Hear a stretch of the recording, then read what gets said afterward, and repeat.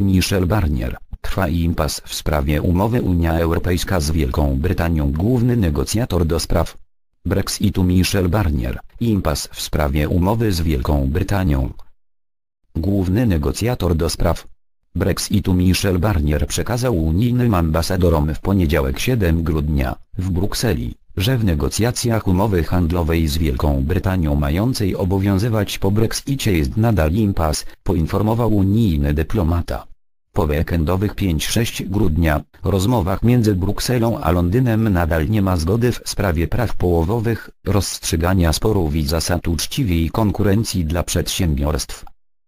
Brak porozumienia może poważnie wpłynąć na gospodarki zarówno Unia Europejska, jak i Wielkiej Brytanii, ponieważ we wzajemnych relacjach handlowych musiałyby zostać zastosowane zasady Światowej Organizacji Handlu w to, co oznaczać będzie cła i kontrole celne.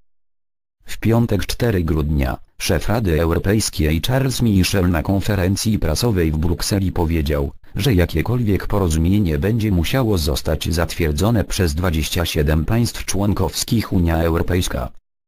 Poinformował też, że temat pojawi się na szczycie Unia Europejska w dniach 10-11 grudnia, na którym przywódcy zajmą stanowisko w sprawie ostatnich wydarzeń dotyczących Brexitu i ewentualnej przyszłej umowy z Wielką Brytanią.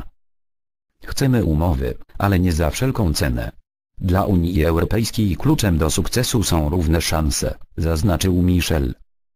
Francuski minister, nie zaakceptujemy umowy na złych warunkach władze Francji i tymczasem zagroziły zawetowaniem ewentualnego, złego, porozumienia w sprawie umowy handlowej Unii Europejskiej z Wielką Brytanią po Brexicie.